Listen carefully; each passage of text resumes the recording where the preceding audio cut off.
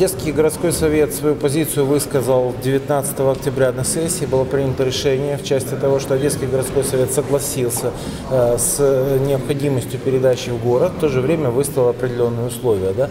Часть из этих условий на сегодняшний день уже выполнена. В частности, 15 января э, дело о банкротстве Одессы, производство э, по делу о банкротстве Одесской ТЭС прекращено, постановлено обращение акций. Одновременно с тем, да, действительно, фонд госимущества принял решение о включении ее в план приватизации, но это процедура, которую фонд выполнил не только в отношении детской ТЭС, в отношении всех ТЭС.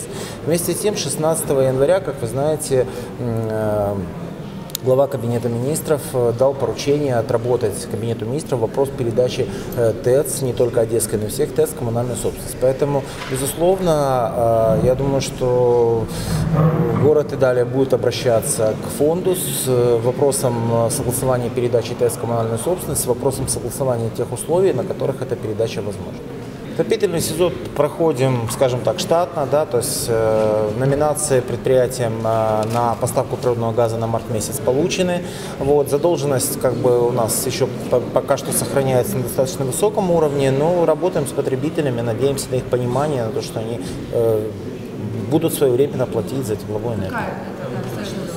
Ну, ну, на сегодняшний день задолженность, скажем так, чуть-чуть опустилась ниже уровня 600 миллионов гривен, но это все равно достаточно много.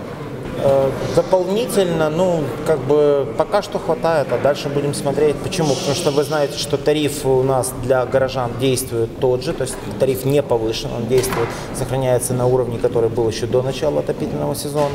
Вот предприятие на сегодняшний день перешло, 25 февраля был подписан акт приема передачи лицензионных дел э, между администрацией и Национальной комиссией регулирования энергетики и коммунальных услуг. Предприятие перешло под лицензирование нацкомиссии. И мы на сегодняшний день материалы, э, новые, новый расчет тарифа мы готовим, но эта процедура не быстрая, в любом случае это длительная, сложная, тяжелая процедура. На сегодняшний день мы выплатили более 70% заработной платы э, и ну, как бы продолжаем ее платить ежедневно. Ну, я думаю, что при таком уровне мы полностью там выплатим то, что сейчас должны выплатить в течение буквально там ближайших 4-5 дней.